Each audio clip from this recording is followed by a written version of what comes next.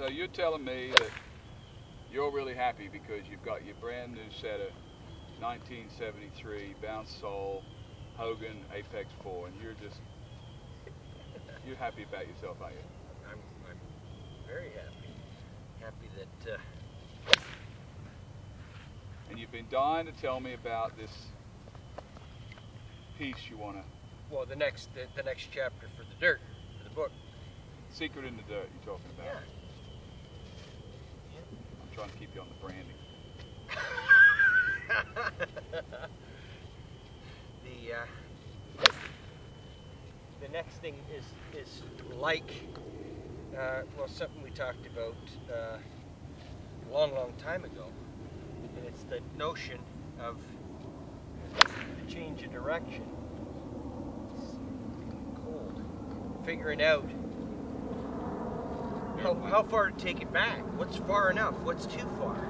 And I think that uh,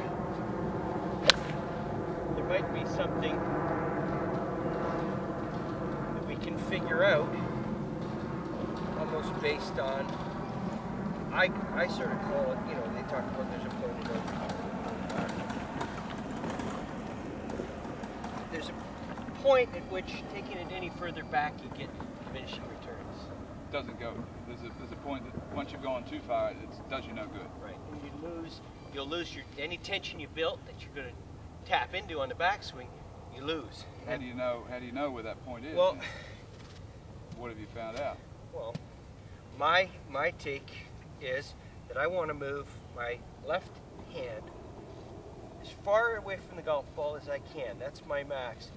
And by that, I mean if you put a string, say this was on a tee, and you put a string on there, and I went to there, that That- would be So you're saying if it went more here, it'd be closer. yeah, the string would develop start- slack. it Now, would- if this got so- the strings And this would say 50 inches. right, You're saying if you went any further, it'd go back to 49 inches, 48, 48. 47. because I'm now getting closer to the ball. Now, what that'll mean is I now have to put the hands back there to 50. to get to my most powerful position. So you say just go to the most powerful position and no further. Exactly.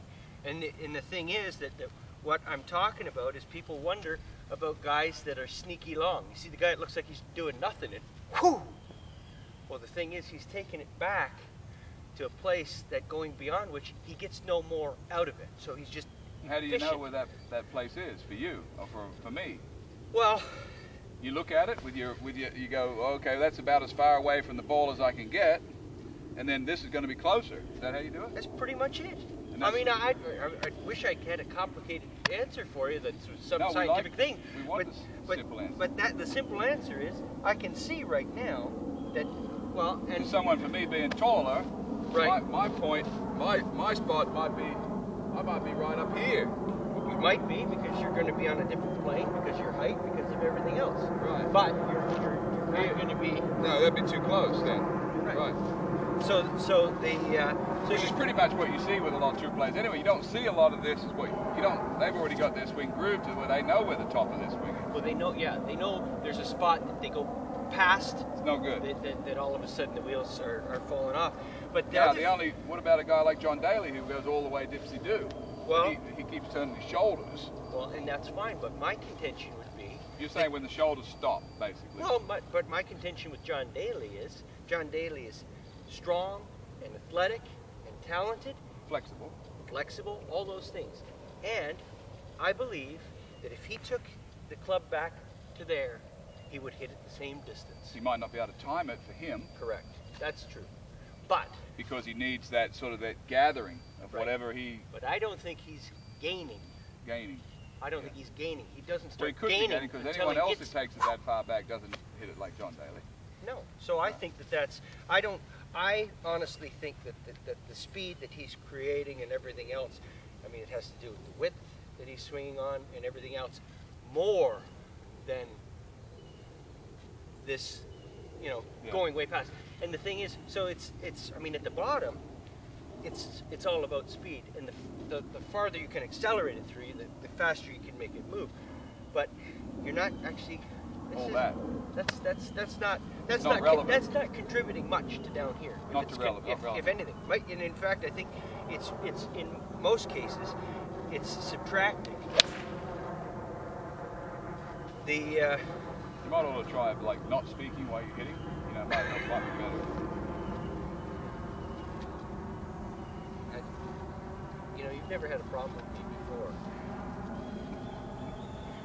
Maybe you just. Okay, that was a nice adjustment.